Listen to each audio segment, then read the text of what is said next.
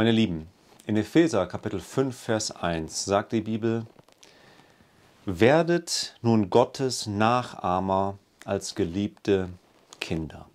Wir sind aufgerufen, Gottes Nachfolger zu sein.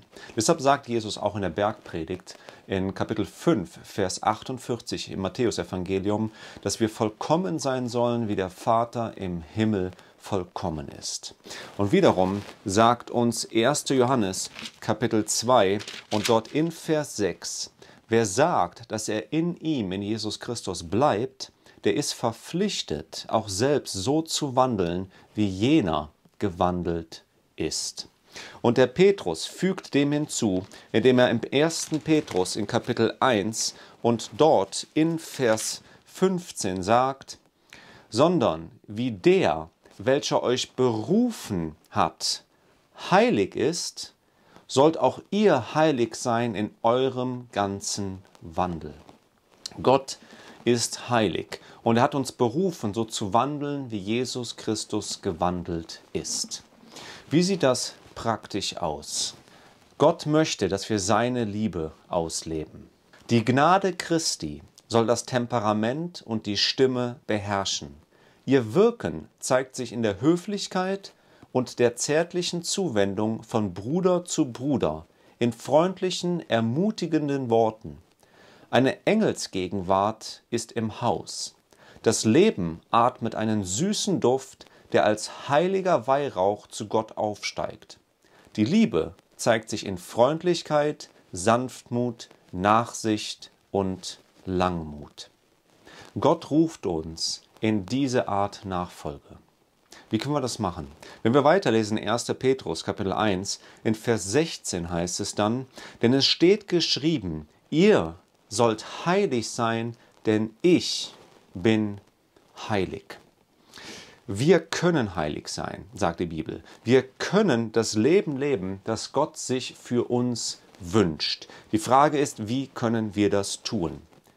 Oder vielmehr, warum können wir das tun. Der Text sagt uns, weil er heilig ist, können auch wir heilig leben. Das ist der Grund, der uns angegeben ist. Und das ist auch der einzige Grund, wie wir und, und wie das praktisch möglich ist, dass wir ein heiliges Leben nach Gottes Willen leben können, weil Gott selbst heilig ist. Und deshalb ist es unser Privileg, dass wir ihn kennen. Jeder wahre Gehorsam kommt aus dem Herzen. Bei Christus war es Herzensarbeit. Und wenn wir einwilligen, wird er sich so sehr mit unseren Gedanken und Zielen identifizieren, unser Herz und unseren Verstand so sehr mit seinem Willen in Einklang bringen, dass wir, wenn wir ihm gehorchen, nur unsere eigenen Triebe ausführen werden. Der Wille, geläutert und geheiligt, wird seine höchste Freude darin finden, seinen Dienst zu tun. Wenn wir Gott so kennen, wie es unser Vorrecht ist, ihn zu kennen, wird unser Leben ein Leben des ständigen Gehorsams sein. Durch die Wertschätzung des Charakters Christi, durch die Gemeinschaft mit Gott wird uns die Sünde verhasst werden. Was für eine wunderbare Verheißung. Die Frage ist, ob wir ihn so gut kennen, wie es unser Privileg ist, ihn zu kennen. Denn die Verheißung ist uns hier gegeben, wenn wir ihm dann gehorchen, letztendlich nur unsere eigenen Triebe ausführen werden, die nämlich im Einklang sind mit Gottes Willen, weil wir seinen Charakter sehen. Kennen wir ihn, wie es unser Privileg ist, ihn zu kennen? Möchten wir ihm vom Herzen wirklich gehorsam sein und nehmen wir auch die Zeit und auch die, die Anstrengung, diese Beziehung mit Gott zu haben. Denn es kostet Zeit und es kostet wirklich auch eine Bemühung, eine Beziehung zu führen. In Johannes Kapitel 17 im hohen priesterlichen Gebet, da sagt Jesus in Vers 3, den bekannten Text Johannes Kapitel 17, Vers 3, das ist aber das ewige Leben, dass sie dich, den allein wahren Gott und den du gesandt hast, Jesus Christus, erkennen. Darin liegt das ewige Leben. Und das ewige Leben, wie es hier genannt ist, ist das wahre und einzige Leben. Dort draußen gibt es sehr, sehr viele Menschen, die atmen, die agieren, die tun, schaffen, arbeiten, die auch Beziehungen führen. Aber die Bibel sagt uns, dass das wirkliche Leben nur das Leben ist, was Gott uns schenkt. Dadurch, dass wir neu geboren werden. Wenn jemand diese Neugeburt nicht erfahren hat, dann lebt er zwar jetzt, er atmet jetzt, aber dieses Leben wird vergehen. Alleine das Leben, was Gott wieder schenken kann, ist das wahre, wahrhaftige Leben, wonach wir streben sollten. Und deshalb lädt Jesus Christus uns ein, diese Erfahrung mit ihm zu machen, neu geboren zu werden. Und jeder von uns kann das erleben. Und es kann auch gar nicht anders sein, dass wenn wir Zeit wirklich mit ihm haben, dann werden wir automatisch sein Wesen sehen, wie liebevoll, wie gerecht, wie heilig Gott ist. Und dann verlangt uns uns automatisch nach unserem Schöpfer. Und diese Zeit, sind wir eingeladen, diese Zeit uns mit Gott wirklich zu nehmen. Und ich glaube, dass das automatisch passiert, dass wir neu geboren werden und das täglich erfahren können, wenn wir diese Zeit mit Gott wirklich haben. Das heißt also, das ewige Leben hier ist absolut abhängig davon, dass wir Gott kennen. Es geht nicht darum, dass wir etwas über Gott kennen oder dass wir mal von ihm gehört haben, sondern dass wir eine persönliche Beziehung mit Jesus Christus eingehen. In Jeremia Kapitel 29, Vers 13 ist verheißen, dass wenn wir von ganzem Herzen nach Gott verlangen und ihn suchen von ganzem Herzen, dann wird er sich von uns finden lassen. Es ist nicht so, dass Gott sich versteckt. Er möchte ja die Beziehung mit dir und mit mir haben. Er hat ja seinen Sohn gegeben für dich und für mich, dass er für deine und meine Sünden stirbt. Aber es liegt an uns, die Tür zu öffnen, wenn er klopft. Es ist diese Erfahrung, eine persönliche Erfahrung, wozu wir eingeladen sind. Die experimentelle Erkenntnis Gottes und Jesu Christi, den er gesandt hat, verwandelt den Menschen in das Bild Gottes. Sie gibt dem Menschen die Herrschaft über sich selbst, indem sie jeden Impuls und jede Leidenschaft der niederen Natur unter die Kontrolle der höheren Kräfte des Geistes bringt. Sie macht ihren Besitzer zu einem Sohn Gottes und zu einem Erben des Himmels. Sie bringt ihn in Verbindung mit dem Geist des Unendlichen und öffnet ihm die reichen Schätze des Universums. Diese experimentelle Erkenntnis ist eine Erkenntnis, die der wahren Erziehung zugrunde legt, nämlich Theorie, auch wenn sie richtig ist, nicht umgesetzt, nützt uns nichts. Es muss eine persönliche Erfahrung werden, die dann sichtbar ist, die man, die man gar nicht mehr verstecken kann. Andere werden das sehen. Schaut mit mir mal in 1. Korinther, Kapitel 15 und dort ab Vers 34. 1. Korinther, Kapitel 15 und dort ab Vers 34. Der Paulus schreibt, werdet doch wirklich nüchtern. Andere Übersetzungen sagen auch, werdet wach zur Gerechtigkeit und sündigt nicht. Denn etliche haben keine Erkenntnis Gottes, das sage ich euch zur Beschämung. Also dieses Nüchternwerden oder dieses Wachwerden zur Gerechtigkeit, zu einem rechtschaffenen Leben, so wie, Gott das möchte, zeigt, dass die Erkenntnis Gottes, wie in diesem Text angegeben ist, Gott wirklich zu kennen, diese Beziehung mit ihm zu haben, bedeutet eben, dass man zu diesem rechtschaffenen Leben wach wird. Dass wenn man Gott wirklich kennt, seinen Charakter kennenlernt, Zeit mit ihm verbringt, dann bedeutet das, dass ich nicht mehr sündigen möchte. Dann bedeutet das, dass ich ein rechtschaffendes Leben leben möchte, dass Sünde nicht mehr präsent ist in meinem Leben. Genau das sagt übrigens auch 1. Johannes Kapitel 3 ab Vers 9. Dort heißt es, jeder, der aus Gott geboren ist, tut nicht Sünde, denn sein Same bleibt in ihm und er kann nicht sündigen, weil er aus Gott geboren ist. Daran sind die Kinder Gottes und die Kinder des Teufels offenbar. Jeder, der nicht Gerechtigkeit übt, ist nicht aus Gott, ebenso wer seinen Bruder nicht liebt. Und hier haben wir die ganz praktische Anwendung zu diesem Text. Die Frage ist aber, wie sieht das persönlich bei uns aus? Wie ist unsere persönliche Erfahrung damit? Es mag vielleicht sein, dass wir das lesen und schauen in unser Leben und, und fallen und stehen wieder auf vielleicht und fallen und denken, ja, das kann ja irgendwie nicht, irgendwie funktioniert das nicht oder das kann ja nicht, vielleicht kommen wir sogar ins Zweifeln und denken, es kann ja nicht wahr sein, was Gott hier sagt. Aber Frage, ist unsere Erfahrung der Maßstab für Wahrheit? Oder was sagt die Bibel? Erinnert euch in Johannes Kapitel 17, Vers 17, wo Jesus wieder im hohenpriesterlichen Gebet, wo er zu Gott Vater betet und sagt, heilige sie in deiner Wahrheit. Dein Wort ist Wahrheit. Also was ist Wahrheit? Ist unsere persönliche Erfahrung Wahrheit? Oder ist das, was Gottes Wort, wie, wie es geschrieben steht, ist das wirklich Wahrheit? Die Bibel sagt uns ja in Römer Kapitel 3, Vers 4, dass Gott wahrhaftig sein soll und jeder Mensch ein Lügner. Was einfach bedeutet, dass wenn Gott das gesagt hat, dass egal wie, wie unsere Erfahrung vielleicht ist, wenn wir sagen, es funktioniert nicht oder wenn wir gefallen sind, bedeutet das nicht, dass das, was hier in diesem Text steht, dass das nicht wahrhaftig wäre. Weil Gott spricht und es geschieht, es steht da, sagt die Bibel.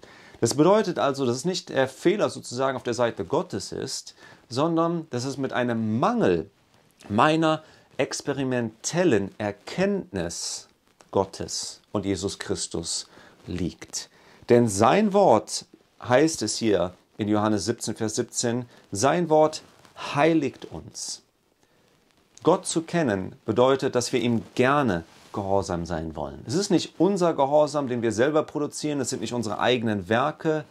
Das haben wir ja ähm, schon gesehen und schon geklärt, dass, es, dass wenn wir, wie wir es eben dem Zitat gelesen haben, auf Jesus Christus schauen, wir können gar nicht anders, als ihn zu lieben und, und seinen Charakter zu verehren, dass wir ihn anbeten möchten und gerne seinen Willen tun möchten. Weil Gottes, Gottes Charakter ist einfach vollkommen. Er ist perfekt. Ich bin immer wieder persönlich selber erstaunt darüber, wenn ich über Gott nachdenke und wie er mit mir umgeht, wie geduldig und, und, und fürsorglich Gott ist. Vor allen Dingen in Situationen, wo man fällt und Gott trotzdem immer einen wieder ruft. Der Teufel sagt uns dann, ja, du kannst nicht zurück zu Gott kommen. Aber es ist wahrhaftig, dass, der, wie die Bibel sagt, dass der Teufel ein Lügner von Anfang an ist und dass unsere Erfahrung nicht Maßstab ist für Wahrheit, sondern was Gottes Wort sagt. Genauso wie Mose, als er in 2. Mose 34 dort die Herrlichkeit Gottes ähm, sieht, wo Gott das verkündigt und sagt, ich bin langmütig. Wo Gott sagt, dass er ein Gottes Friedens ist, liebevoll ist und dass er die Sünde vergibt den Menschen. So ist Gott. Aber lasst uns nochmal lesen, 1. Korinther, Kapitel 15, und nochmal in den gleichen Text hineingehen, wie es dort heißt, 1. Korinther, Kapitel 15, in Vers 34. Der Text sagt, werdet doch wirklich nüchtern oder werdet wach zur Gerechtigkeit und sündigt nicht. Denn etliche haben keine Erkenntnis Gottes, das sage ich euch zur Beschämung. Der Paulus schreibt auch, dass wir ein, ein offener Brief sind. Und deshalb ist es eine wirkliche Schande und es ist sehr traurig, wenn unser Leben nicht den wunderbaren und liebevollen Charakter Jesu Christi widerspiegelt.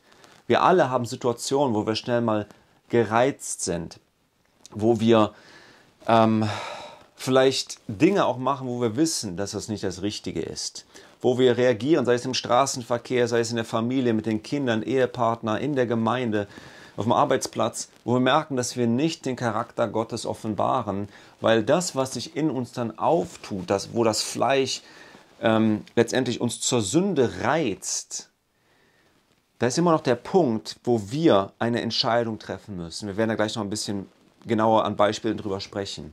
Aber wie können wir, erstmal der Gedanke, wie können wir Menschen, wo wir auch zu berufen sind in dieser Endzeit, aus Babylon herausrufen. Und Babylon sind nicht nur, es sind auch, aber es sind nicht nur falsche Lehren, es ist ein Teil davon, aber es ist ja auch der Charakter. Der Charakter Gottes gegenüber dem Charakter Satans. Und Wir sind ja ursprünglich in das Bild Gottes geschaffen worden. Gott will uns wieder zurückführen in dieses Bild. Er will uns wieder schaffen, neu in dieses Bild, durch die Beziehung mit ihm. Aber wie können wir Menschen da rausrufen aus Babylon, wenn wir selber noch babylonische Charakteristika in uns haben? Denn in dem alten Ritus, der das Evangelium symbolisiert, wenn dort Opfer gebracht wurden, dann musste dieses Opfer, was Jesus Christus präsentiert, musste makellos sein. Das Wort Gottes weist darauf hin, um zu veranschaulichen, was seine Kinder sein sollen, nämlich ein lebendiges Opfer, heilig und makellos.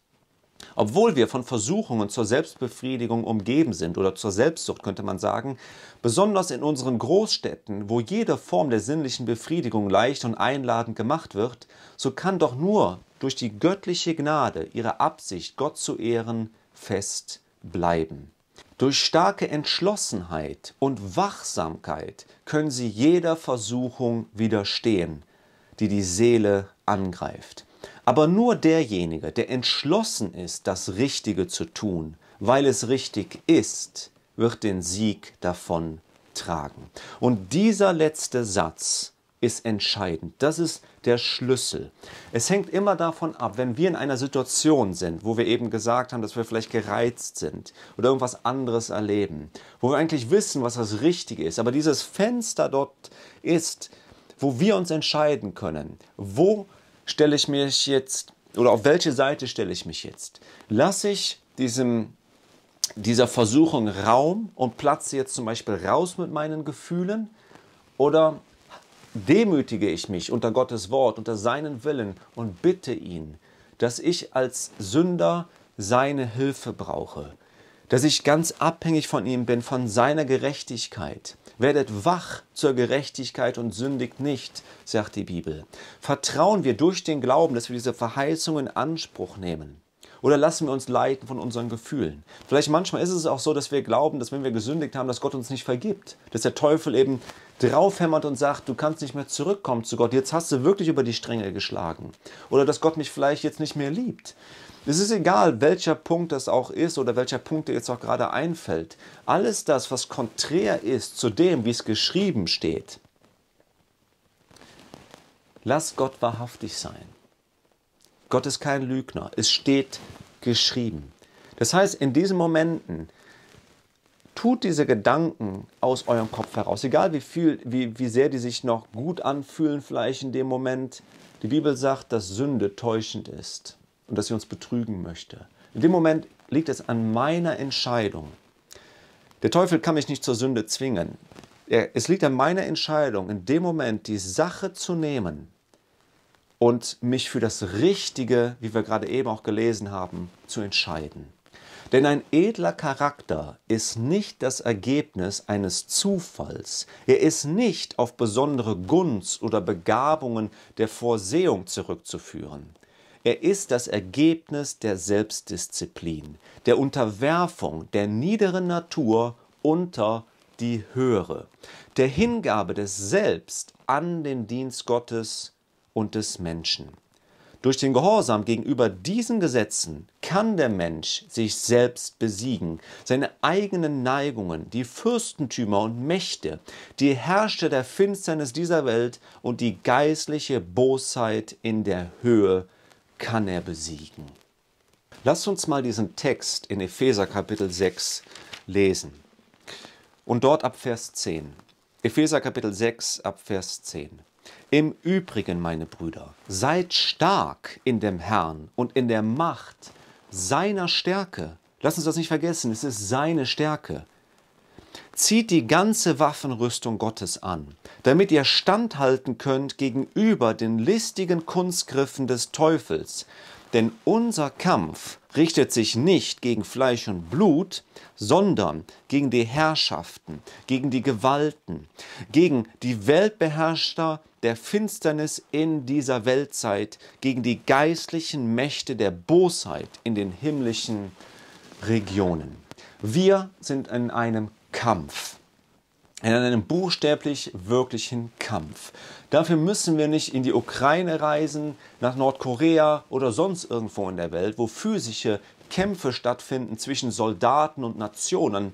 Jeder von uns, egal wo du bist, in Deutschland, in den Niederlanden, in der Schweiz, in Österreich, jeder von uns befindet sich in einem täglichen Kampf, wo Satan versucht, uns abzuleiten von Gott und sie Zeit zu rauben mit Jesus Christus. Und dafür hat er viele Erfindungen, um uns diese Zeit zu rauben. Schaut mit mir mal in 2. Korinther, dort in Kapitel 2 und dort in Vers 11. Dort heißt es, 2. Korinther Kapitel 2, Vers 11, damit wir nicht von dem Satan übervorteilt werden, seine Absichten sind uns nämlich nicht unbekannt. Die Frage ist, sind uns seine Absichten wirklich nicht unbekannt? Ich denke, das ist eine wichtige Frage. Und es ist sehr offensichtlich, ich glaube, dass wir alle damit übereinstimmen können, dass wir in ernsthaften Zeiten leben, in Zeiten der Finsternis, wo es dort draußen noch nie so viel Widerstand gegen Gottes Wort und gegen die Bibel gab und so viel Atheismus herrscht und, und Streitigkeiten in Familien, in Nationen, in Regierungen. Wir leben in bösen Zeiten. Und die Bibel sagt, dass das zunimmt bis zur Wiederkunft. Deshalb rät die Bibel uns auch, dass wir weise sein sollten, unsere Zeit wirklich auszukosten und das jeden Tag bewusst. Wenn wir morgens aufstehen, lass uns Gott danken zuerst einmal, dass er uns in der Nacht bewahrt hat und dass er uns Leben neu schenkt.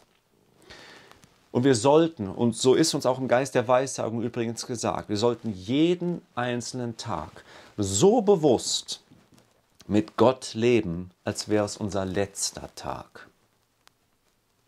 Denn keiner weiß von uns, wenn ich ins Auto steige, losfahre oder auf der Arbeit bin, einen Unfall habe, sonst irgendwas. Deshalb sagt die Bibel uns auch, dass wir unseren Zorn nicht, wenn, bevor die Sonne untergeht, dass wir alles, was da im Unreinen ist, mit anderen Menschen oder sonst irgendwas, mit Gott natürlich, dass wir das ins Reine bringen sollten. Wir sollten die Sonne nicht untergehen lassen, bevor dieser Zorn nicht abgegeben ist an Gott. Und wir alles das tun, was möglich ist, ist um unserem Nächsten im Reinen zu sein. Lass uns nochmal zurückgehen in Epheser Kapitel 6 und wir lesen dort ein Stück weiter. In Epheser Kapitel 6 und nun möchte ich mit euch den Vers 13 lesen. Epheser Kapitel 6, Vers 13. Die Bibel sagt, deshalb ergreift die ganze Waffenrüstung Gottes, damit ihr am bösen Tag widerstehen und nachdem ihr alles wohl ausgerichtet habt, euch behaupten könnt. Die Bibel sagt und spricht vom bösen Tag. Das ist nicht nur die Endzeit mit gemeint, sicherlich auch. Und wir kommen auch noch dazu. Aber es meint auch diesen heutigen Tag, in dem Gott uns jetzt das Leben schenkt. Und die Elberfelder oder auch die Schlachter und einige deutsche Übersetzungen, sie übersetzen das hier, nachdem wir wohl ausgerichtet haben und euch behaupten könnt. In anderen Übersetzungen, wie zum Beispiel der King James im Englischen, heißt es dort, dass wir die ganze Waffenrüstung Gottes ergreifen sollten und nachdem wir alles getan haben, um zu stehen. Das heißt, die Bibel ruft uns hier auf, nicht zu unseren eigenen Werken, aber es ist eine wichtige und absolut wichtige Frage, gute Frage, die wir uns stellen sollten. Als ich diesen Text vor einigen Tagen in meiner Andacht morgens nochmal gelesen habe, da ist mir das rausgesprungen. Weil ich meine Bibel gewöhnlich im Englischen lese kam mir dieser Satz heraus, wo es dort heißt, and stand, hieß es dort, ja. Having done all and stand. Also habt ihr wirklich alles getan, um zu stehen? Das ist eine Frage, die wir uns wirklich fragen müssen. Mir ist das wirklich in die Augen gesprungen und habe mich selber nochmal gefragt. Und nochmals, wir sprechen hier nicht von den eigenen Werken. Das haben wir schon geklärt, dass wenn wir in der Beziehung sind, dass wenn wir Gott kennen, wie es unser Privileg ist, ihn zu kennen, dann ist da kein Raum für eigene Werke, sondern wir werden gerne uns offen stellen, dass wir in den Werken wandeln, nach Epheser Kapitel 2, Vers 10, die Gott bereits zuvor bereitet hat dass wir aus seiner Gnade heraus gehorsam sind und in Liebe das tun. Aber es ist Zeit, jetzt unsere Herzen zu durchforschen, wie David sagt in Psalm 139, Vers 23 und 24, wo er dort betet und sagt, Herr, durchforsche mein Herz, siehe, wie ich es meine. Und wenn ich auf irgendwie auf einem falschen Weg bin, dann leite mich bitte wieder auf richtigem Weg. Bitte schenk mir diese Überzeugung. Deshalb wir sprechen nicht über die eigenen Werke, aber wir müssen uns diese Frage stellen haben wir alles in dieser Beziehung mit Gott wirklich eingesetzt, alles hingegeben? Haben wir uns wirklich die Zeit genommen, dass wir stehen können? Heute, aber auch in der Endzeit. In 1. Korinther Kapitel 10, Vers 12, da schreibt der Paulus, dass derjenige, der denkt, dass er steht, aufpassen soll, dass er nicht fällt dass wir uns niemals darauf verlassen, dass wir in eigener Kraft stehen können, sondern immer wieder neu bewusst sind, dass unser ganzes Stehen abhängig ist von Jesus Christus und der Entscheidung, ihm Raum zu geben und Zeit mit ihm zu haben. Genauso drückt der Paulus das übrigens auch in Hebräer Kapitel 3 aus. Lass uns das mal gerade noch lesen. Hebräer Kapitel 3. Dort Lesen wir mal ab Vers 13. Ermahnt einander vielmehr jeden Tag, solange es heute heißt, damit nicht jemand unter euch verstockt wird durch den Betrug der Sünde. Denn wir haben Anteil an Christus bekommen, wenn wir die anfängliche Zuversicht bis ans Ende standhaft festhalten. Haben wir alles getan? Um zu stehen, um standhaft zu bleiben? Ich möchte euch hier einen kleinen Ausschnitt zeigen von einigen Übersetzungen. Ich habe das eben schon angesprochen, wie dieser Vers in Epheser Kapitel 6, Vers 13 auch übersetzt werden kann. Im Englischen, having done all to stand. Das ist interessant, in einigen deutschen Übersetzungen, auch in der französischen Übersetzung, kann es auch so übersetzt werden, nachdem ihr alles überwunden habt. Und wisst ihr, wenn ich das höre, nachdem wir alles überwunden haben, dann erinnert mich das genau an die Botschaft aus Offenbarung Kapitel 14, nämlich, dass das die Versiegelungsbotschaft ist der 144.000. Eine Generation, die so in Liebe mit Gott ist, die Gott kennt, wie es ihr Privileg ist, Gott zu kennen. Und die Sünde aus ihrem Leben herausgetan haben, weil sie einfach dem biblischen Prinzip gefolgt sind, treu zu bleiben, Überwinder zu bleiben. Und dann, meine Lieben, dann sind wir nicht länger, wie wir eben gelesen haben in 1. Korinther, Kapitel 15, Vers 34, dann sind wir nicht länger eine Schande. Und versteht mich nicht falsch, Gott liebt jeden von uns, selbst wenn wir fallen, hört seine Liebe zu uns nicht auf. Aber um Gott wirklich zu repräsentieren, dass Gott im großen Kampf, dass sein heiliger Name wahrhaftig dasteht, wie Römer 3, Vers 4 eben sagt, wo Gott im Gericht selber ist über seinen Charakter, über sein Wesen, über seine Regierung, über sein Gesetz. Lasst dem Menschen ein Lügner sein, aber Gott nicht. Gott und sein Wort und sein Gesetz, seine Regierung sind wahrhaftig. Sein Wesen ist echt und kein Fake. Und deshalb dann, wenn dieser Zeitpunkt eingetroffen ist, dann wird sich das offenbaren, was Epheser Kapitel 5, Vers 27 sagt, dass Gott sich eine, dass Jesus Christus sich eine Gemeinde zurecht bereitet hat, die keinen Flecken oder Runzel noch hat. Das ist der Punkt, wo, wo Gott uns wirklich hinbringen möchte. Das lesen wir übrigens auch, schaut mal mit mir in 2. Korinther, Kapitel 4. 2. Korinther Kapitel 4 und dort ab Vers 4. Dort heißt es, 2. Korinther 4, Vers 4, bei den Ungläubigen, denen der Gott dieser Weltzeit, Satan, die Sinne verblendet hat, so dass ihnen das helle Licht des Evangeliums von der Herrlichkeit des Christus, der Charakter Gottes, nicht aufleuchtet, welches Gottes Ebenbild ist. Jesus war vollkommen in Harmonie und in der Widerspiegelung des Charakters des Vaters. Und der Gott dieser Welt, der Satan, hat die Sinne der Ungläubigen verblendet dahin. Sind wir gläubig? Glauben wir den Verheißungen Gottes? Dass wir auch in dieses Bild geschaffen werden können? In den Charakter Gottes geschaffen werden? Haben wir diesen Glauben? Satan möchte davon abhalten. Er möchte uns ungläubig sein lassen, selbst als bekennende Gläubige. Aber selbst wenn wir die Bibel lesen, in die Gemeinde gehen, den Punkt zu verstehen und zu glauben, durch Glauben anzunehmen, dass Gott uns auch in dieses Bild wieder schaffen möchte, uns wieder vollkommen wiederherstellen will, da möchte er uns auch von abbringen. Geht nicht nur um die Ungläubigen da draußen, die Gott ablehnen, die glauben, es gibt keinen Gott. Die Bibel sagt, der Tor sagt in seinem Herzen, dass es keinen Gott gibt. Jeder weiß in seinem Herzen, das wäre eine andere Predigt, aber jeder weiß in seinem Herzen, dass es Gott gibt. Wir können das nicht leugnen. Aber Satan möchte uns davon abhalten, dass wir diese Herrlichkeit, die Christus hatte, dass wir sie auch empfangen. Hat nicht Jesus dafür gebetet in Johannes Kapitel 17, wiederum im hohen priesterlichen Gebet?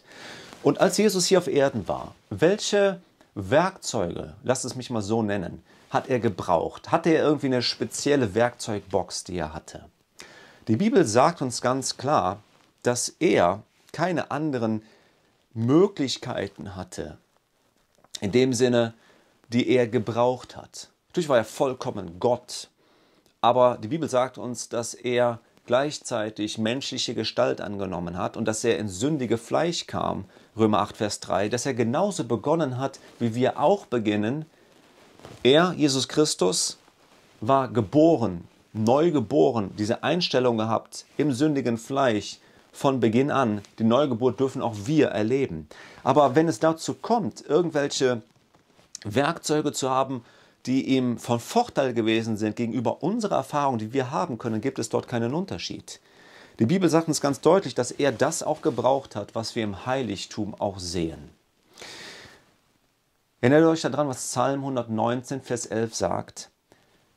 Psalm 119, Vers 11 sagt, Dein Wort habe ich in meinem Herzen, damit ich nicht wieder dich sündige. Und Psalm 40, Vers 8 sagt über Jesus Christus, Deinen Willen, o Herr, tue ich gerne, dein Gesetz habe ich in meinem Herzen. Jesus Christus war so voll des Wortes Gottes. Und damit meine ich nicht nur rein informativ die Bibel zu lesen, sondern dass er diese experimentelle Erfahrung mit dem, mit dem Vater hatte, dass er das sagen konnte. Ich habe dein Wort in meinem Herzen, damit ich nicht wieder gegen dich sündige. Die Bibel zu lesen schenkt die Kraft, schenkt die Gnade Gottes, schenkt den Glauben in die Verheißungen Gottes auf eine ganz praktische, experimentelle Erfahrung, experimentelles Wissen über Gott. Aber wie schnell ja, sind wir abgelenkt? Zum Beispiel im Bibelstudium, wenn wir in der Gemeinde sitzen und zuhören sollten. Vor allen Dingen auch, wenn Irrtum gepredigt wird. Nicht, dass wir es dann annehmen, sondern dass wir es unterscheiden können. Aber deshalb müssen wir auch unsere Bibeln gut kennen, um den Irrtum zu unterscheiden, weil dort ein großer Kampf abläuft, aber zur gleichen Zeit natürlich, um Gott kennenzulernen, seinen Charakter wirklich noch tiefer lieben zu lernen. Ich möchte euch jetzt ein Video zeigen. Ein Video, was ich vor einiger Zeit in einem anderen Kontext bearbeitet habe und auch in eine andere Präsentation verarbeitet habe. Ein Freund von mir hat mich darauf aufmerksam gemacht, als wir es in seiner Präsentation gebraucht hatten. Und ich habe dieses Video mir damals angeschaut, als ich diesen Freund von mir übersetzt habe. Aber erst als ich dann nochmal in der Nachbearbeitung des Videos am Computer gesessen habe und habe dieses Video dann untertitelt mit deutschen Untertiteln, weil es ein englisches Video ist, werde es jetzt gleich sehen. da habe ich gedacht, wow, diese Information in diesem Video, nicht, dass es komplett jetzt neu war, wahrscheinlich auch nicht komplett für euch, aber diese Information und diese Erklärung, die dort gegeben wird, ist eine so wichtige Erklärung. Ich möchte euch wirklich bitten, seid oder schenkt dieser ganzen Sache jetzt, die, die drei, vier Minuten, wo ihr das jetzt seht, Aufmerksamkeit. Dass wenn das bei, bei einem ankommt, werdet ihr merken, wie entscheidend das auch für das Bibelstudium und die Beziehung mit Jesus Christus ist. So you're reading an article online when you get an instant message with a link to a funny photo, which of course you have to share. And now you're reading your Facebook news wall, which sends you to a video of a panda bear attacking a kid. And now you're reading Wikipedia to learn everything you can about the violent behavior of panda bears. And this is what three minutes on the internet can be like.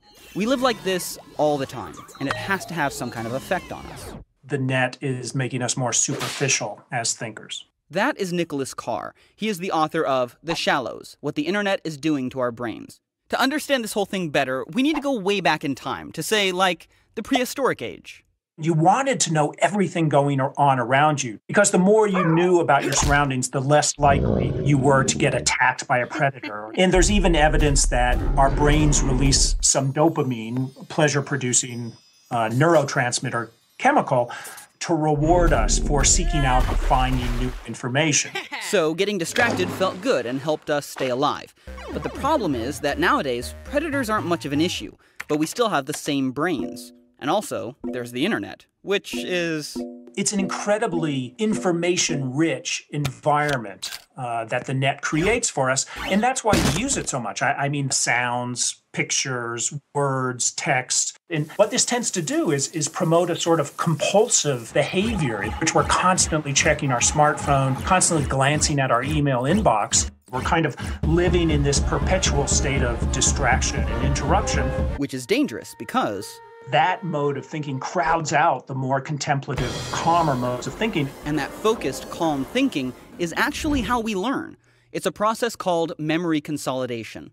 And that means the transfer of information from our short term working memory to our long term memory.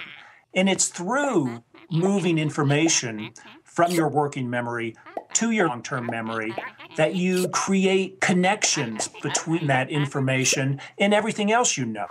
So you've got this awesome life changing piece of information in your short term memory, but then you hear that email ding and poof, there it goes. That email takes its place and you never get a chance to learn anything, all because of one distraction. So attention is the key, and if we lose control of our attention or are constantly dividing our attention, uh, then we don't really enjoy that consolidation process. But I can hear it now. Someone out there is saying, uh, what does learning matter if all the information in the world is just a Google search away? Well, um, that is kind of shortchanging our intellects. If that's the way you're using your mind, just kind of searching very quickly and finding information and then forgetting it very quickly, you're never building knowledge. You're simply, you're, you're kind of thinking like a computer. Which means that our very humanity is at stake. And it would be a shame if we all got assimilated because, well, humanity is pretty neat. I really believe that if you look at the great monuments of, of culture, they come from people who are able to pay attention, who control their mind. That's what allows us to think in the highest terms, and think conceptually, think critically, uh, think in some very creative ways. And it's this kind of thinking that's at risk, being eroded one cute cat video at a time. Don't get us wrong, the internet is good for lots of things, and it should be celebrated. But the best thing we can do for our minds is to find some time every day to unplug, calm down, and focus on one thing at a time. Your email and those cats will be here when you get back. Meine Lieben, ich hoffe, dass wir sehr aufmerksam waren, weil diese Informationen in diesem Video sind sehr, sehr wichtig. Wenn es nicht ganz klar geworden ist, bitte schaut es euch nochmal an. Spult nochmal zurück zu dieser Stelle und schaut es euch nochmal an. Denn was hier erklärt wurde, ist ganz, ganz wichtig auch im geistlichen Leben. Denn es wurde gesagt, dass wir mit Informationen zu tun haben oder wir an etwas arbeiten oder aufmerksam sein sollten. Und damit das wirklich gespeichert ist, damit das wirklich eine, ich sage das jetzt so, zu einer praktischen Erfahrung werden kann und es wir wieder auch wieder abrufen können, uns wir auch wieder daran erinnern können, wenn es vielleicht sehr, sehr wichtig und sehr brenzlig ist im Leben, dann ist es wichtig, dass wir nicht abgelenkt werden, sondern dass wir uns auf diese eine Sache jetzt konzentrieren und nicht durch irgendein Handypiepen, irgendeine Nachricht, die wir reinkriegen, abgelenkt werden. Und dass wir fokussiert sind auf diese Sache. Zum Beispiel, wenn ich jetzt eben Gottes Wort studiere, wenn ich Andacht habe, dass ich nicht mein Handy daneben liegen habe oder meinen Laptop, äh, wenn der irgendwie aufgeschlagen ist und ich brauche den gleichzeitig fürs Bibelstudium, dass ich nicht irgendwelche Programme, jetzt äh, WhatsApp, Telegram, was weiß ich, Facebook aufhab, wo irgendwelche Nachrichten reinkommen können, weil alleine wegen dieser einen ja, äh, Nachricht, die reinkommt, dieser, dieser eine, dieses eine Aufpoppen, kann diese vielleicht sehr wichtige Information nicht in meinem Langzeitgedächtnis abgespeichert werden. Er hat gesagt in diesem Video, stellt euch vor, es kommt diese wirklich großartige, lebensverändernde, wichtige Information in dein Leben, aber es gerät nur in dein, in dein Kurzzeitgedächtnis, weil wir eben durch diesen, dieses kleine Aufpoppen, diese, diese Ablenkung auf einmal nicht gespeichert werden kann. Frage, ist Gottes Wort lebensverändert? Ich hoffe, dass wir alle dazu Ja sagen können, dass wir diese Erfahrung bereits gemacht haben. Und wenn nicht, bist du eingeladen, ja, diese Zeit mit Gott, mit Gott zu verbringen und wirklich zu merken, dass dieses Wort lebendig ist. Wie Jesus gesagt hat, dass er das Brot des Lebens ist und dass ein jegliches Wort aus seinem Mund lebensverändernd ist und dass es wichtig ist. Aber wie oft sitzen wir dort? Wir lesen vielleicht die Bibel und später merken wir, dass wir uns gar nicht mehr richtig darauf oder daran erinnern können, was wir eigentlich gelesen haben oder vielleicht gehört haben weil es so schnell wieder weg ist, weil wir so schnell wieder mit anderen Dingen beschäftigt sind oder währenddessen eben uns haben ablenken lassen von irgendwas, was, was piept und gerade immer dann, was, wenn was piept, testet euch mal selbst. Nachdem ich das Video geschaut habe, habe ich mal auf mich selber geachtet, dass wenn ich dort Bibel am Lesen, Bibellesen war und mein, mein Handy lag dort irgendwo oder mein Laptop war an gleichzeitig, dann und es irgendwas hat eine Nachricht kam rein, wie schnell man geneigt ist, wirklich dahin zu greifen. Ich bin ganz ehrlich, mir ist das dann auch passiert. Da habe ich gedacht, wow, wie, wie, wie sehr man auf einmal man abgelenkt ist, man liest gerade was und dann will man wieder dahin und gucken, was, was hast du jetzt für eine Nachricht bekommen oder, oder was ist irgendwie passiert. Genauso wie jetzt gerade mein Laptop, ja, eine Nachricht aufgeht. Genau das passiert. So oft. Meine Lieben, ich habe es mir zur Angewohnheit gemacht.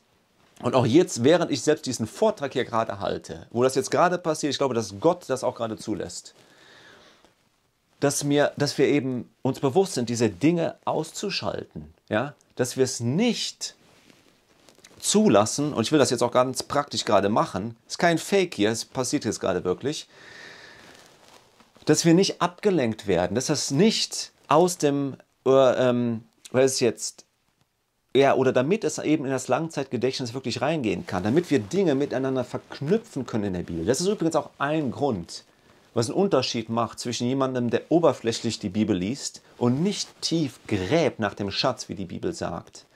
Der Schatz, der im Acker ist, und jemandem, der eben genau das tut, der tief reingeht in die Materie. Seid einfach mal ehrlich, beobachtet euch, wie stark dieses Verlangen ist, jetzt schnell wieder aufs Handy zu gucken oder dies und das, auch durch den Alltag hindurch, auch wenn ich jetzt irgendwas am, am, am Arbeiten bin, am Rechner oder irgendwas anderes am Ausarbeiten bin. Ich habe mich entschlossen, wirklich die Dinge auszumachen, komplett. Schon direkt am Morgen nicht irgendwie ans Handy zu greifen, sondern mein Leben Gott zu übergeben, Zeit zu nehmen mit Gott und die Dinge einfach beiseite zu schieben.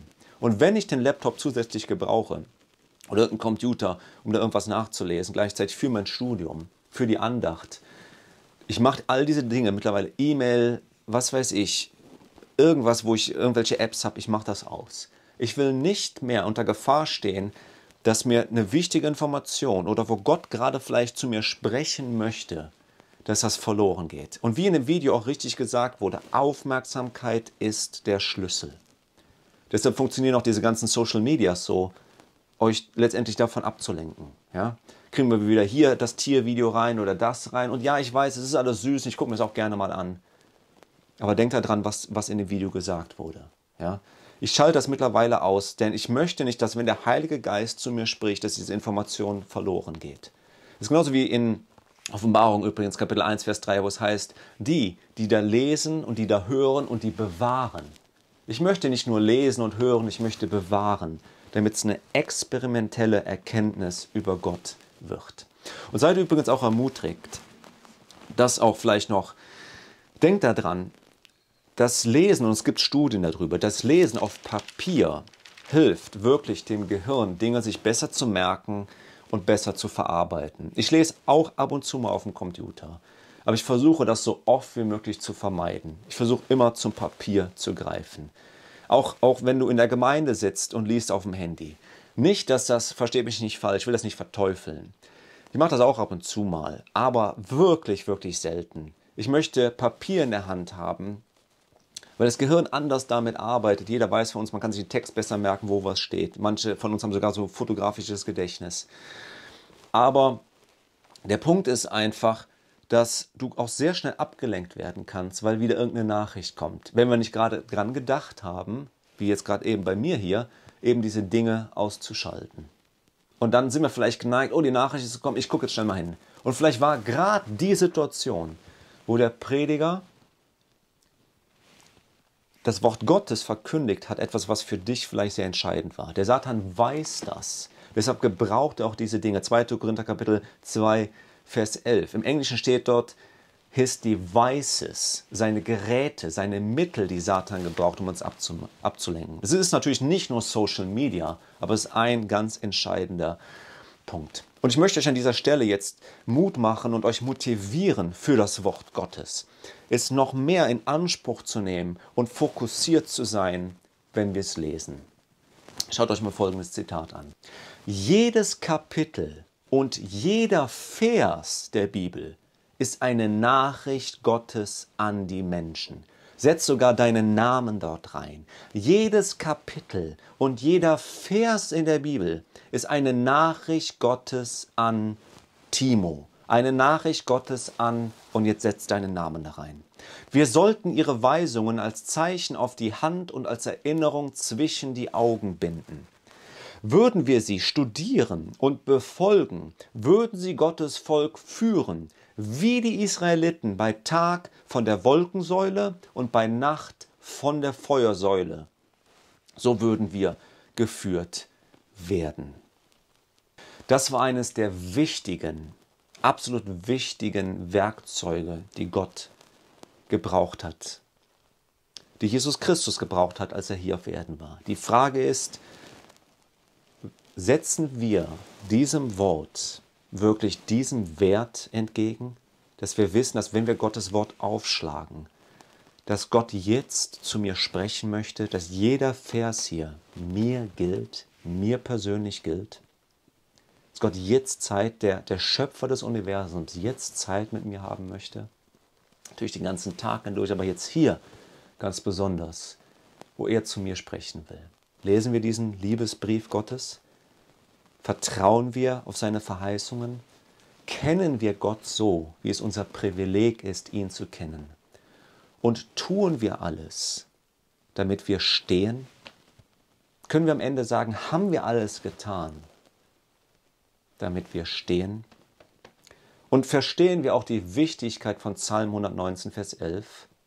Dein Wort habe ich in meinem Herzen, damit ich nicht wieder dich sündige. Hier heute, aber auch besonders in den letzten Tagen.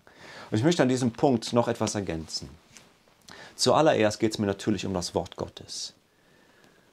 Aber ich möchte auch uns als Gemeinde persönlich ansprechen. Wir haben von Gott den Segen bekommen, nach Offenbarung Kapitel 12, Vers 17 und Offenbarung 19, Vers 10, dass uns Schriften gegeben worden sind, die inspiriert sind. Schriften, wo der Geist der Weissagung gewirkt hat. Und ich muss ehrlich sagen, mich wundert es manchmal, negativ gemeint, mich wundert es manchmal, Negativ, aber nicht böse gemeint, sondern motivierend gemeint. Wie wenig wir diese Bücher lesen und zur Hand nehmen. Wo sie doch so ein Segen sind, uns das Wort Gottes noch näher zu bringen, tiefere Verständnisse, Einblicke zu geben und dass da noch mehr Hunger nach Gottes Wort ist. Und Prinzipien lehrt, wo wir auch angesprochen werden. Es ist zur Erbauung der Gemeinde Gottes gegeben, auch zur Korrektur, zur Ermahnung, aber damit wir eben auf dem richtigen Weg gehen. Und da gibt es so viele wunderbare Bücher. Es gibt Bücher wie zum Beispiel das Buch Erziehung, was nicht nur für Kindererziehung gilt, sondern für jeden Einzelnen von uns. Natürlich gibt es Passagen dort oder auch in anderen Schriften von ihr, die speziell jetzt mit Kindererziehung zu tun haben. Aber selbst dann, wenn man es liest, gilt, kann man da Prinzipien, wichtige Prinzipien daraus lernen. Aber ich wundere mich manchmal, ich nehme jetzt mal gerade das Beispiel, wo wir es gerade haben, ähm, und damit möchte ich niemanden, versteht mich bitte nicht falsch, niemanden angreifen, ganz und gar nicht. Meine Frau und ich, wir haben keine Kinder, ja. Ich habe trotzdem diese Bücher gelesen, wegen all den wichtigen Prinzipien da drin. Aber gerade besonders, wenn ich wüsste, meine Frau ist schwanger, spätestens dann, ich meine, wir haben es jetzt schon gemacht und wir wollen es auch wieder tun, aber spätestens dann, warum sollte ich nicht mir diese Hilfe nehmen, diesen Schatz, diesen Reichtum an den Schriften des Geistes der Weissagung und zum Beispiel das Buch Erziehung oder wie führe ich mein Kind, all diese Dinge zu lesen, mich vorzubereiten. Denn ich muss euch ehrlich sagen, ich habe großen Respekt vor jedem Einzelnen von euch, die Kinder haben, weil ich es als eine gewaltige Aufgabe ansehe. Eine herrliche und schöne Aufgabe, auch, aber auch, wie ihr wisst, eine herausfordernde Aufgabe. Warum sollten wir nicht als Gottesvolk hingehen zur Bibel und zu den Schriften von Schwester White und diese Bücher lesen mit so viel Gewinn und Reichtum und Schatz, damit ich alle Hilfe habe, die ich nur haben kann, ich möchte persönlich nicht da stehen und möchte einmal sagen, wenn ich die Frage gestellt bekomme oder mir selber vielleicht jetzt auch schon stelle, habe ich alles getan? Tue ich alles, was mir möglich ist? Nochmal, sind nicht die eigenen Werke, sondern das, was Gott mir in, seine, in seiner Liebe schenken will. Nimm ich das alles in Anspruch? Und ihr könnt es jetzt auf alle Lebensbereiche ähm, beziehen. Ich bleibe jetzt gerade beim Thema Erziehung, weil es das wichtigste Thema ist. Nicht nur Kindererziehung, sondern unsere Erlösung ist damit gemeint. Ja? Warum diese Dinge nicht in die Hand nehmen? Oder wenn ich mich auf die Ehe vorbereite, warum nicht ein glückliches Heim lesen? Wenn ich jemanden kennenlernen will, warum diese Bücher nicht lesen? Es ist so voll an Reichtum, was uns geschenkt ist, in Ergänzung zu natürlich Gottes Wort. Und lasst uns dort auch jetzt mit diesem Gedanken das nächste Werkzeug anschauen. Epheser Kapitel 6 wollen wir wieder lesen. Epheser Kapitel 6 und dort Vers 18. Epheser Kapitel 6 und dort Vers 18.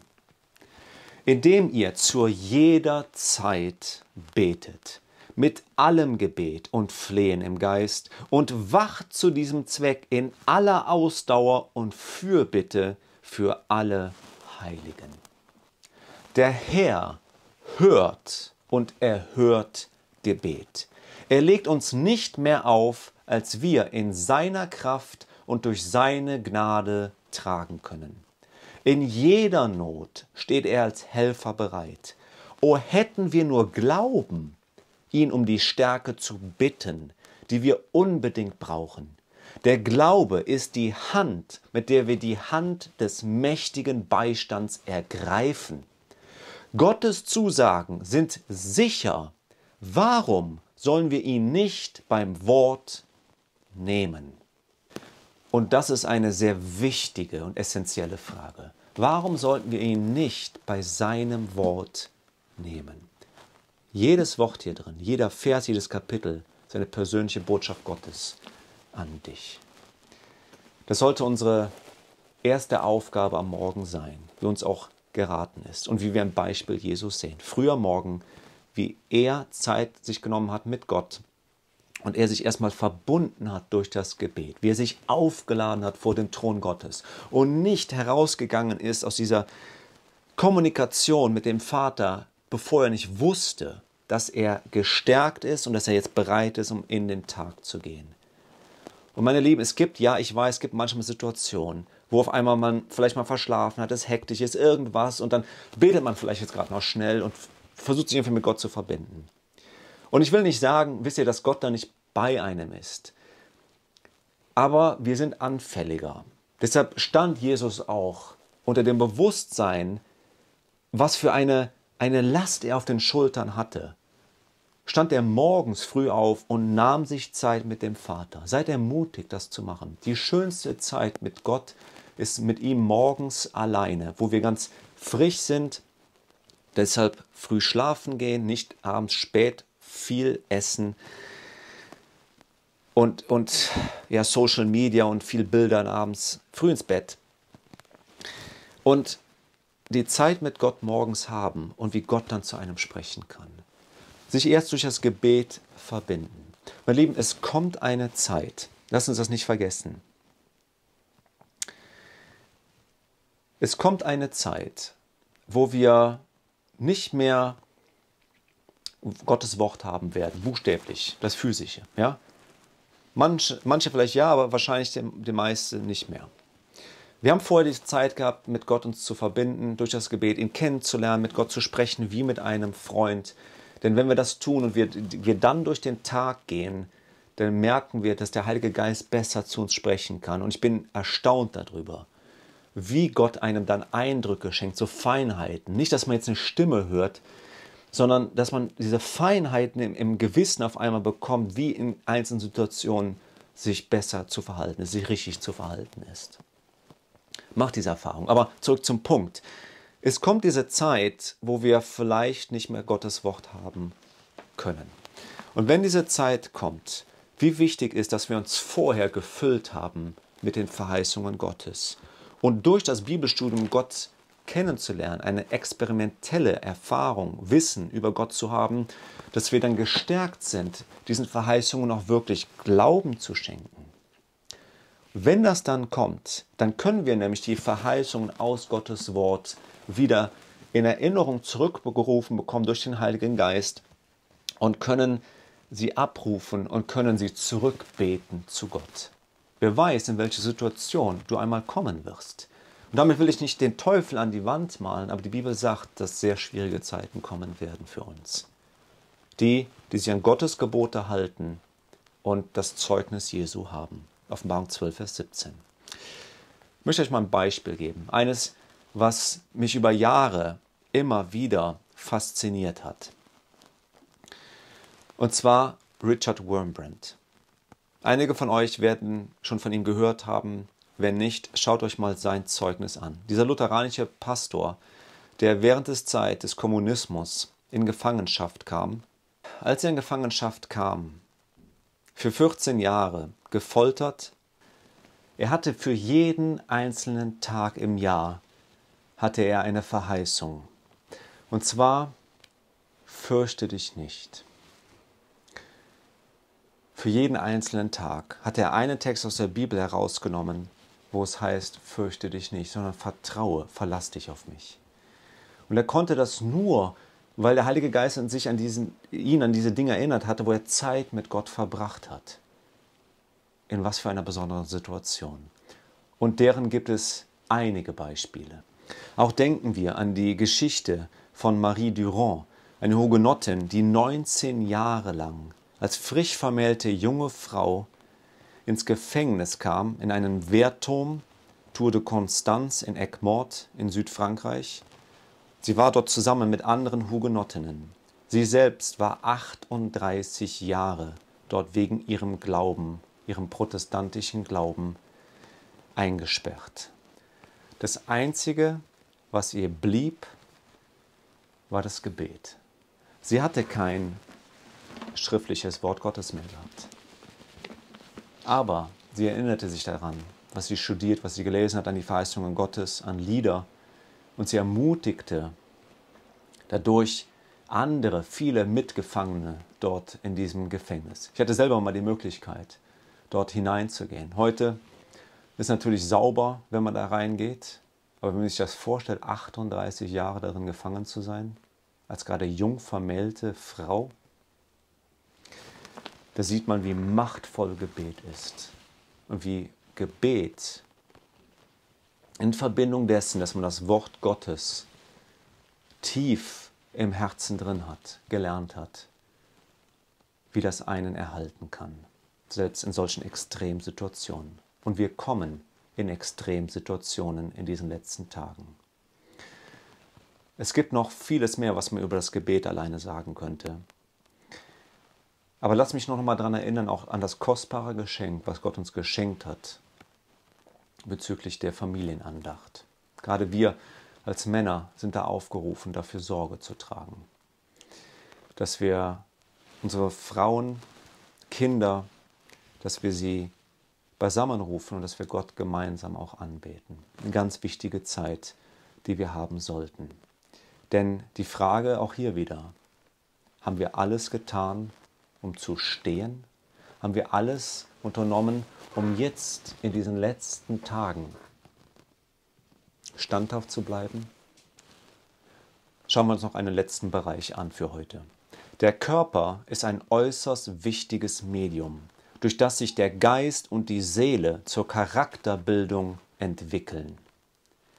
Die Leidenschaften sollen durch den Willen kontrolliert werden, der seinerseits unter der Kontrolle Gottes stehen soll.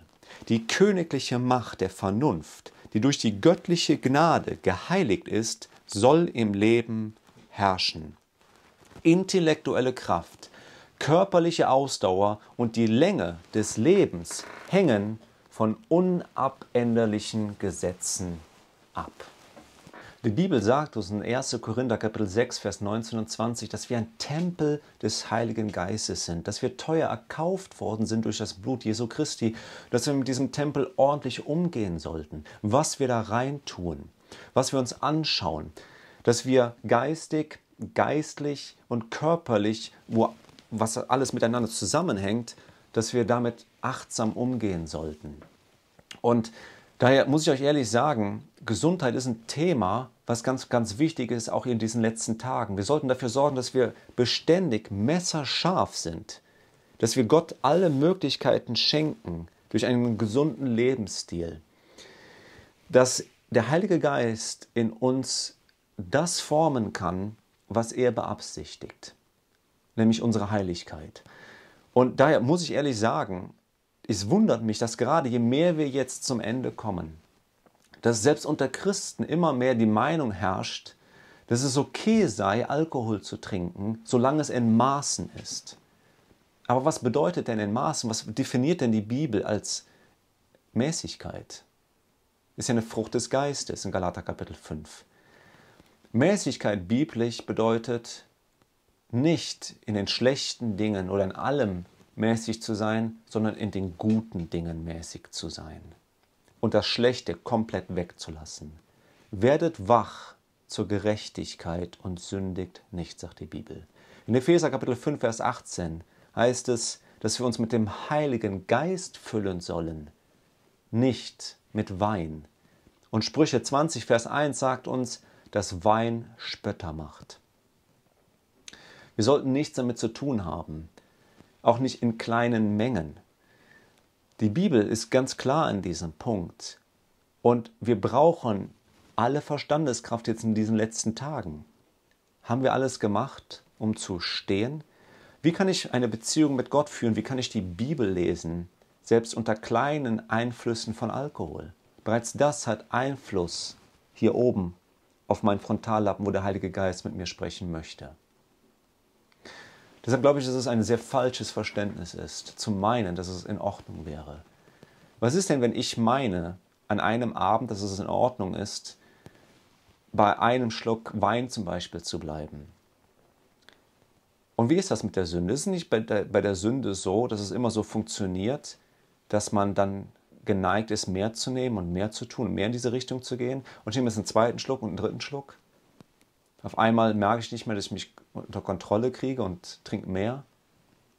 Und was passiert dann, wenn ich zu irgendeiner Tat dann greife, etwas tue, was vielleicht auch dich persönlich verletzen würde? Kann ich einfach sagen, ja, hab versucht, mäßig zu sein, hat da nicht funktioniert. Es ist ein Grund, warum Gott uns klar sagt, dass wir abstain, ja, heißt es dort in Sprüche 20, Vers 1, Bleibt davon fern von diesen Dingen. Wir können uns nicht mit dem Heiligen Geist füllen, wenn wir uns mit Alkohol füllen, selbst wenn es in kleinen Mengen ist. Der Heilige Geist kann das nicht unterstützen. Aber es ist nicht nur der heilige, Entschuldigung, es ist nicht nur Alkohol, was uns davon abhält. Es ist ein offensichtliches Beispiel, aber ich wollte es nochmal erwähnen. Eigentlich unnötig zu erwähnen, aber weil immer wieder ich sehe, dass das selbst unter Christen ein Thema ist, wo sie sagen, ja, es ist okay, ja, ähm, mäßig Alkohol zu trinken. Ich sah vor einiger Zeit ein Video von diesem bekannten YouTuber, ähm, ist mir gerade sein Name, ähm, kommt mir jetzt gerade nicht zum Gedächtnis, ist aber auch okay, will ihn nicht bloßstellen, nur der Punkt ist, dass, dass er auch sagte, dass, ähm, dass es okay ist, eine gewisse Menge Alkohol zu trinken. Er war dort, war dort in einem Gespräch mit einer jungen Frau, hat sie versucht zu evangelisieren und ähm, dann hat diese junge Frau gesagt, ja, aber wenn ich mich für Gott entscheide, darf ich keinen Alkohol mehr trinken. Und er sagte zu ihr, also so ist das nicht. Natürlich, solange du nicht über die Strenge ja, äh, schlägst. Aber wer verspricht dir denn, dass du eben nicht über die Strenge dann schlägst und was viel Schlimmeres noch tust? Kannst du mir das versprechen? Wenn ich anfange, ein bisschen was nur zu trinken? Und das sind eigentlich sehr, sehr offensichtliche Dinge, aber es sind viele, viele weitere Dinge, die ähm, uns dahingehend beeinflussen können, wo wir verstehen sollten, dass Gesundheit eine ganz wichtige Rolle spielt. Wie wir körperlich, geistig und geistlich eben, wo das alles miteinander zusammenhängt, ähm, wie ich die Bibel aufnehme, wie ich Zeit mit Gott verbringen kann, wie ich Dinge besser verstehe und eben nicht getäuscht werde. Und übrigens, die Bibel sagt uns auch im sechsten Gebot, dass wir nicht töten sollten. Und durch diese Dinge, egal, das muss jetzt nicht nur Alkohol sein, aber wir töten uns langsam dadurch. Und dieses Leben, dieser Tempel wurde ja teuer von Jesus Christus erkauft, denn den sollten wir nicht missbrauchen. Auf keine. Mit, mit keiner, was weiß ich, schlechten Essgewohnheit, Schlafgewohnheit. Wir sollten regelmäßig sein, auch im, im Arbeiten, Regelmäßigkeiten haben, im Schlaf, alle diese Dinge, dass wir nicht schlafend in der Gemeinde sitzen, ähm, oder während der Andachtszeit, wie wir eben schon darüber gesprochen haben, sondern dass wir voll da sind, dass der Heilige Geist durch, durch Mäßigkeit und Regelmäßigkeit in unserem Leben wirklich gut wirken kann. Die Frage ist wieder bei mir, ob ich diesem Ganzen eben Raum gebe. Die Entscheidung liegt da bei mir, ja. Und lasst mich hier mit euch ein Zitat teilen, was vielleicht, wenn man über Gesundheit spricht, nicht erstmal so offensichtlich ist, aber ich hoffe, dass wir dennoch sehen, was Gott uns hier eigentlich schenken möchte. Viele bekennende Christen kommen in Schwärmen, wenn sie das Gemälde eines Sonnenuntergangs betrachten. Sie huldigen dem Talent des Künstlers, aber wenn sie einen echten Sonnenuntergang sehen könnten, wie es an jedem wolkenlosen Abend ihr Vorrecht ist, gehen sie achtlos daran vorbei. Woher hat der Maler sein Motiv? Aus der Natur. Der große Meisterkünstler hat auf die ständig wechselnde und wandernde Leinwand des Himmels die Herrlichkeit der untergehenden Sonne gemalt. Er hat das Firmament mit Gold, Silbern, Purpurrot getönt und vergoldet, als wären die Portale des höchsten Himmels aufgeschwungen, damit wir auf seine Strahlen blicken und uns etwas von der Herrlichkeit im Inneren vorstellen können. Was hat das mit Gesundheit zu tun? Wisst ihr, in der Stadt zu leben, war niemals Gottes Wille. Und in der Stadt, wo alles fast nur künstlich ist, ist es schwierig, eine solche Erfahrung mit Gott zu machen. Gott wirklich wahrzunehmen in der Natur. Die Frage ist, nehmen wir dieses Angebot an? Gott hat nicht ohne Grund den Menschen in einen Garten gesetzt, weil im Garten können wir all die Prinzipien, wie wir es oft in meiner Gemeinde sagen, die New Start-Prinzipien, die acht Prinzipien über Gesundheit, die man auch im Schöpfungsbericht findet, über frische Luft, Wasser, über Mäßigkeit, über Gottvertrauen, was das Wichtigste ist, ähm, das Essen, die Nahrung, die wir zu uns nehmen, Sonnenschein und all diese Punkte, die wir dort auch finden. Die Wind im Garten, sobald ich rausgehe in die Natur und speziell auch im Garten arbeite, sind diese Sachen vorhanden. Und das sind Dinge, die mir dabei helfen, ganz praktisch in meiner Beziehung zu Gott. Nun, meine Lieben, wollen wir Gott da nicht treffen, dann Entscheidung treffen, so wie Gott den Menschen auch zuallererst im Garten getroffen hat? Diese, dieses Zitat, diese Verheißung hier ist eine wunderbare Verheißung.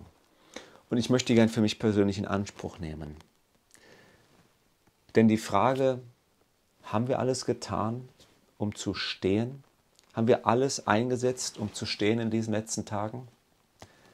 Lass uns nochmal zurückgehen zu diesem Vers in Epheser Kapitel 6. Das war Vers 13 gewesen.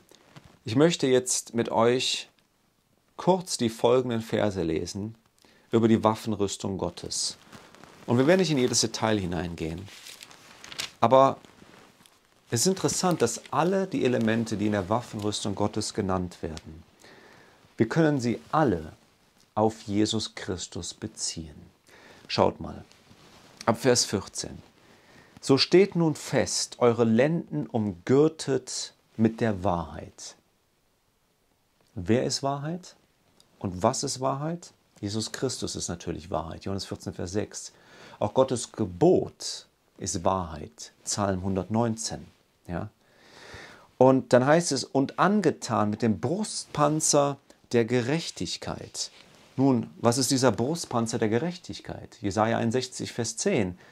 Es ist Jesus Christus, sein Kleid der Gerechtigkeit. Es ist seine Gerechtigkeit, mit der wir gekleidet sein sollten und die Füße gestiefelt mit der Bereitschaft zum Zeugnis für das Evangeliums des Friedens.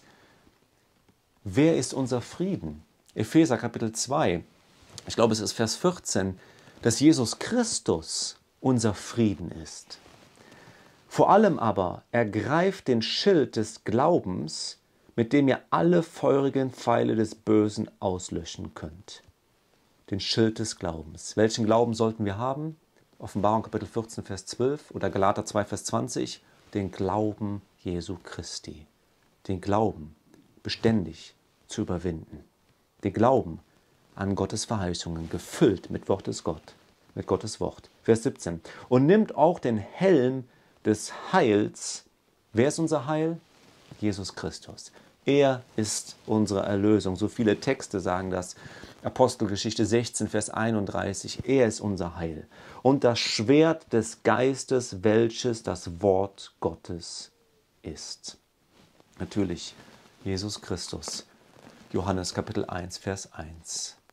Im Anfang war das Wort. Und das Wort war bei Gott. Und das Wort ist Gott. Es ist Jesus Christus. Jedes dieser Dinge, was wir hier gerade lesen, können wir auf Jesus Christus anwenden. Was uns zeigt, dass Jesus uns in diesem Kampf, in dieser Auseinandersetzung, er möchte uns alles sein für uns. Sei es der Helm, sei es die Stiefel, sei es der Gürtel, den wir umbinden sollten, alles möchte er für uns sein. Jeden Tag.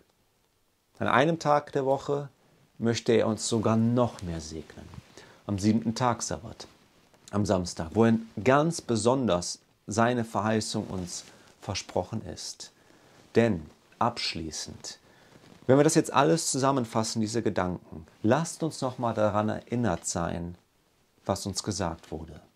Wenn wir Gott so kennen, wie es unser Vorrecht ist, ihn zu kennen, wird unser Leben ein Leben des ständigen Gehorsams sein.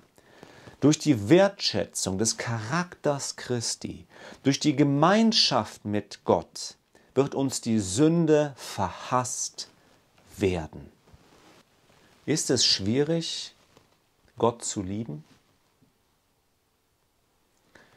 Ist es schwierig, Zeit mit Gott zu verbringen?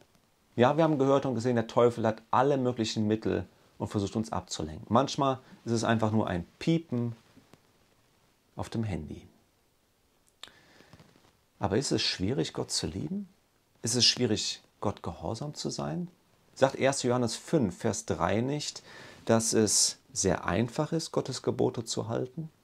Unsere Erfahrung mag uns was anderes sagen, aber nochmals, Let God be true and every man a liar. Lass Gott wahrhaftig sein und jeden Menschen ein Lügner. Sein Wort steht. Wir dürfen uns damit füllen. Ich glaube nicht, dass es schwierig ist, Zeit mit Gott zu verbringen. Es ist nur dann und wird immer dann schwierig, wenn wir uns ablenken lassen und nicht fokussiert sind. Und Aufmerksamkeit ist der Schlüssel, haben wir gehört auf das, was Gott mir jetzt sagen möchte. Denn wenn ich das tue, Zeit mit Gott verbringe und Leben, echtes, ewiges Leben empfange, dann sehe ich immer mehr den wunderbaren Charakter Christi, wie er wirklich ist, was er wirklich für einen Plan für mich hat, dass jeder Vers dort in der Bibel ein persönlicher Brief an mich ist. Und wenn das so ist, wenn es nicht schwierig ist, Gott zu lieben und schwierig ist, Zeit mit ihm zu verbringen, dann, meine Lieben, sollte es auch nicht schwierig sein, Sünde aus dem Leben zu verbannen. Die Frage ist aber und bleibt, haben wir alles getan, um zu stehen? Tun wir alles, um zu stehen? Nehmen wir alles in Anspruch, alle Gaben, Geschenke, die Gott uns gegeben hat, um stehen zu bleiben in diesen letzten Tagen? Vollkommen allein sich auf ihn wirklich zu verlassen. Und Jesus ist diesen Weg für uns als vollkommene Ermutigung vorangegangen. Er hat uns nicht nur in dem Sinne erlöst, sondern er hat uns auch praktisch durch sein Leben gezeigt, wie das eben möglich ist. Wir haben einiges dazu gehört, aber ich möchte noch einen Vers aus dem Hebräerbrief vielleicht dazu lesen. Hebräer Kapitel 5 dort ab Vers 7. Hebräer Kapitel 5 und dort ab Vers 7. Dieser, Jesus Christus, hat in den Tagen seines Fleisches sowohl Bitten als auch Flehen mit lautem Rufen und Tränen dem dargebracht, der ihn aus dem Tod erretten konnte, und ist auch erhört worden um seiner Gottesfurcht willen. Jesus kannte Gott. Und obwohl er Sohn war, hat er doch an dem, was er litt, den Gehorsam gelernt hat eine experimentelle Erkenntnis Gottes. Und jeder Gehorsam kam aus Herzen. Und nachdem er zur Vollendung gelangt ist, ist er allen, die ihm gehorchen, der Urheber ewigen Heils geworden.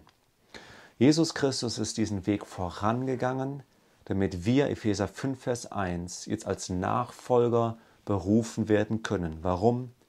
Weil er heilig ist. Darum können auch wir heilig sein. Meine lieben Geschwister, ich hoffe, dass wir ermutigt sind, dass wir durch Gottes Wort ermutigt worden sind, zu wissen, dass Jesus Christus den Weg bereitet hat, dass jeder Vers in der Bibel eine persönliche Nachricht an jeden Einzelnen von uns ist. Dass er sich sehnt danach, Zeit mit ihm zu verbringen im Gebet, weil Gebet, wie wir gesehen haben, mächtig ist. Und da kommen Zeiten, meine Lieben, die werden tough. Der eine oder andere von uns mag jetzt in einer toughen Situation sein. Persönliche Umstände. Aber wir werden alle auf die eine oder andere Art und Weise, wenn wir eine Zeit erleben, die wird sehr herausfordernd sein. Und es braucht uns keine Angst zu machen, aber wir sollten bewusst in der Beziehung mit Gott all die Gaben in Anspruch nehmen, die Gott uns gegeben hat. Denn sein Charakter ist so wunderbar und so einzigartig, dass wenn wir ihm den Raum und die Zeit geben, ihn da jeden Tag besser kennenzulernen, meine Lieben, wie können wir da noch auf Abwege gehen? Denn wir wollen dann gerne seinen Willen tun. Deshalb lass uns ermutigt sein und lass uns ehrlich die Frage stellen. Haben wir alles getan? Tun wir alles, um hier und heute und auch in der Endzeit zu bestehen? Und kennen wir Gott wie es unser Privileg ist, ihn zu kennen. Ich weiß von Gottes Wort, dass sein Wort nicht leer zurückkommt. Das hat er versprochen in Jesaja. Und ich weiß, dass der Heilige Geist auch zu dir gesprochen hat. Und wenn du weißt in deinem Leben, dass da jetzt irgendwas ist, von dem, was du jetzt heute gehört hast, wo der Heilige Geist dich an einem speziellen Punkt angesprochen hat, dann möchte ich dich jetzt einladen, dir die Zeit mit mir jetzt im Gebet zu nehmen und mit mir gemeinsam zu beten, aber dass du auch für dich persönlich betest, speziell auch über diesen Punkt, wo der Heilige Geist dir gezeigt hat, hier ist ein Bereich, da kannst du mehr rausholen, um festzustehen in diesen letzten Tagen und mich zu kennen, wie es das Privileg für dich persönlich ist, mich zu kennen. Lass uns beten. Unser Vater im Himmel, wir möchten dir danken für dieses Studium deines Wortes und danke, dass dein Wort mächtig und kraftvoll ist und dass du auch zu uns gesprochen hast heute. Und ich möchte dich bitten, dass du uns hilfst, dass wir Entscheidungen treffen, dass wir das Beste aus unserer Zeit machen, die wir jeden Tag geschenkt bekommen. Am Morgen bereits im persönlichen Gespräch mit dir und in der Zeit der Andacht in deinem Wort, aber auch dann durch den Tag hindurch, Herr, dass wir in Verbindung mit dir bleiben.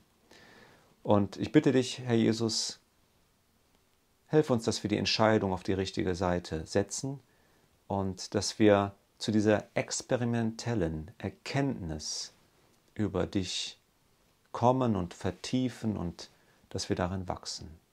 Ich möchte dafür danken im Namen Jesu. Amen. Und ich möchte euch danken, dass ihr mit dabei wart und dass wir gemeinsam Gottes Wort studieren und hören konntet. Ich äh, wünsche euch von ganzem Herzen Gottes rechtlichen Segen und bis zum nächsten Mal. Maranatha.